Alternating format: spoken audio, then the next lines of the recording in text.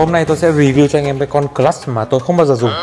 Chào anh em, tôi là Sơn Núi chuyên đồ gia thật như anh em đều biết thì tôi đang sử dụng cái con clutch này. Nó khá là dày nhưng mà tiện lợi ở chỗ là có khả năng là đeo được.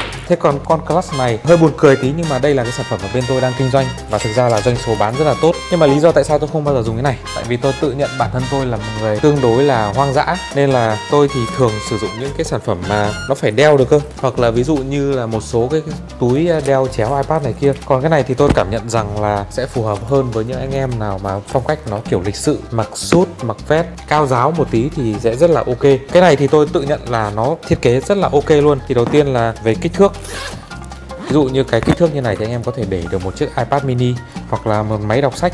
Và ngoài ra thì những cái sản phẩm à, ví, điện thoại thắt lưng, kính mắt này, đồng hồ thì có thể đựng trong này rất là gọn gàng. Chất liệu da thì bên mình sử dụng da ép xăm, khả năng chống xước và cũng tăng lên cho nó cái sự sang trọng. Cái này thì mình ít dùng, tuy nhiên thì mình thấy rằng nó tiện lợi hơn với cái sản phẩm này rất là nhiều. Ví dụ như là khi anh em lái xe ô tô ấy, thì em có thể là đặt nó ở bên cái ghế lái như này thì nó cũng gọn gàng, hoặc là đặt trên cái táp lô xe thì nó không bị vướng. Chứ còn như này mà đặt ở bên cạnh hoặc là trên táp lô xe thì trông rất là vướng.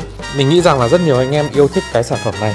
Minh chứng là doanh số bán hàng thì của con này với con này nó cũng ngang ngang nhau. Vậy nên đây là một bài review ngắn của mình về cái sản phẩm Glossa mà mình không dùng. Tuy nhiên mình nghĩ rất nhiều anh em thích cái sản phẩm này. Nếu anh em ủng hộ sản phẩm này thì có thể xem thêm ở cái giỏ hàng phía bên dưới.